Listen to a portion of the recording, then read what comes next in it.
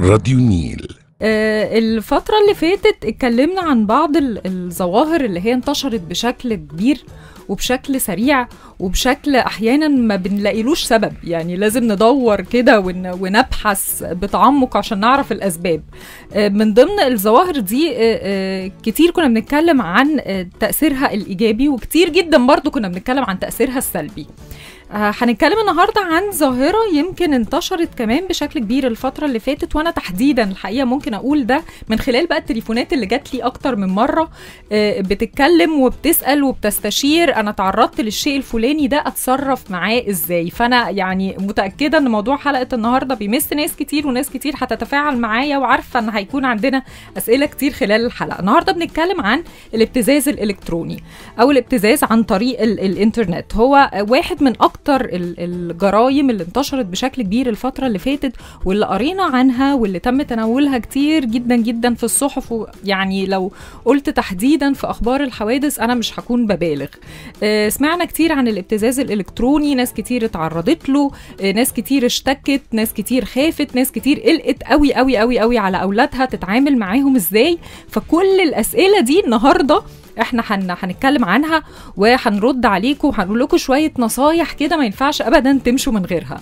آه بينورني في الاستوديو ومشرفني الحقيقة أستاذ أحمد طارق خبير أمن وتكنولوجيا المعلومات. مساء الفل. ازي حضرتك؟ مساء النور على على حضرتك ومساء الخير على السادة المستمعين. آه، يعني مبسوطة جدا إن أنت معايا النهارده لأنه فعلا ال- الفترة اللي فاتت يعني لو تفتكر قبل الحلقة على طول بقول لك أنا أنا عمالة أتسأل أنا عمالة أتسأل وناس كتير محتارة وناس كتير قلقانة قوي وخايفة صحيح، من صحيح، فكره قوي. الإلكتروني يعني أسألك في البداية كده إيه تعريفه للناس اللي يمكن يعني مش فاهمة أو يعني إيه أنا هبسط للسادة المستمعين حاجات كتير قوي من ناحية تعريف الابتزاز الإلكتروني مم. أول حاجة إحنا لازم نعرف إن إحنا دخلنا للإنترنت زي نزولنا للشارع بالظبط يعني إحنا معرضين للسرقة معرضين لل... لحاجات كتير قوي زي كأنك مم. في الشارع بالظبط فحواليكي ناس أنت مش عارفة إيه نواياها بل بالعكس أصعب لأنهم ورا شاشة موبايل أو ورا شاشة لابتوب. مم. فتعريف الابتزاز بمعنى صح إن هم بياخدوا منك صور أو بياخدوا منك معلومة أو بياخدوا منك أي حاجة تخصك أنت فبالتالي يهددوكي بيها مقابل مال أو مقابل بيع ال- الحاجة دي أو مقابل دعاية وإعلان. آه. إن هم يشهروا بالموضوع ده و- ويعلنوا بمعلوماتك و- وهكذا. مم. فهم دول الثلاث أنواع الرئيسية اللي إحنا هنتكلم عليهم النهارده. وفي نفس الوقت بتلاقي أطفال كتير داخلين في الموضوع ده آه بنات كتير وناس كتير للأسف فاكرة إن الموضوع ده بس للبنات الابتزاز الالكتروني يعني بنت. ناس كتير عندها العلم ده. عايز أقول لحضرتك أكتر حاجة بتجيلي وأكتر حالات بتجيلي اللي هم الرجالة.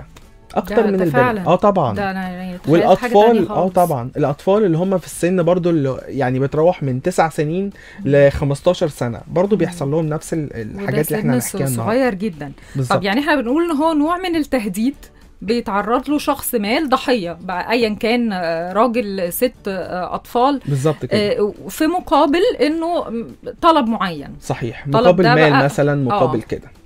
طب إيه ليه ليه الظاهرة دي تحديدا انتشرت بشكل كبير قوي الفترة اللي فاتت؟ هي الحقيقة أصلا كل ما نتقدم في التكنولوجيا كل ما تلاقي مساوئ كتير ليها قوي. فالفترة اللي فاتت سمعنا عنها كتير وشفنا عنها كتير لأنه الناس آه، كل مادة بتتطور من ناحية ال- ال- الثغرات اللي موجودة أو آه، الأبواب الكتير اللي موجودة خلينا نعرف الناس برضو الحاجة معينة قوي. هم بيقعوا فيها وممكن هم اللي بيعملوا ده بإيديهم. مم. عندنا حاجة اسمها الهندسة الاجتماعية اللي هي فن اختراق عقول البشر.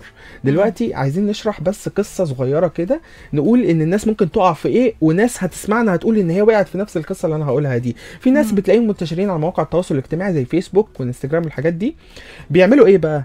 منتشرين يجمعوا عنك بيانات هم المبتزين ثلاث أنواع إحنا أول آه. نوع في نوع من شخص لشخص يعني زي مثلا أنا أحمد طارق بعرف أستاذة مي أنور فأنا مم. من شخص لشخص عارفك هفضل ماشي وراك لحد ما أخد منك اللي أنا عايزه وبالتالي ده حله طبعا عندنا في دولتنا وزارة الداخلية رقمهم 108 تقدر تجيبهم بأي وسيلة مم. وبكل سرية تامة انت ده- بنتكلم على. مباحث الإنترنت آه يعني مباحث الإنترنت تاني حاجة اللي هو من شخص لأكتر من شخص يعني أنا أحمد طارق مثلا لا قدر الله اللي هبتز الناس أصلا.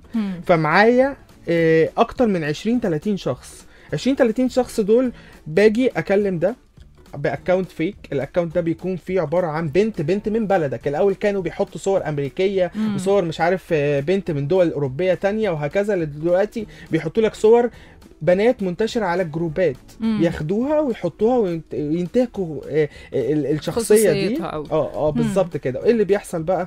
بيكلموكي عن طريق البنت دي.